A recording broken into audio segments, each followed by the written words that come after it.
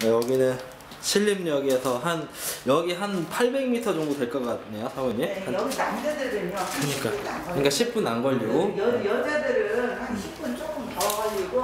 그러니까 아 그리고 여기 바로 버스 타는 데 네, 있잖아요. 바로 거기고 네. 여기 지금 지상층이 1000에 45, 1000에 45. 네.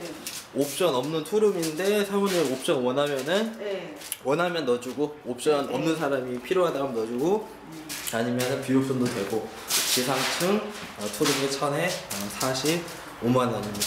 괜찮아요. 네. 그리고 짐 좀 사실 요즘에 그 아까 말했지만 원룸이 그냥 한 4평 5평짜리가 1000에 45, 50 이러니까 네. 그것보다는 훨씬 어, 좋은 것다 같아요.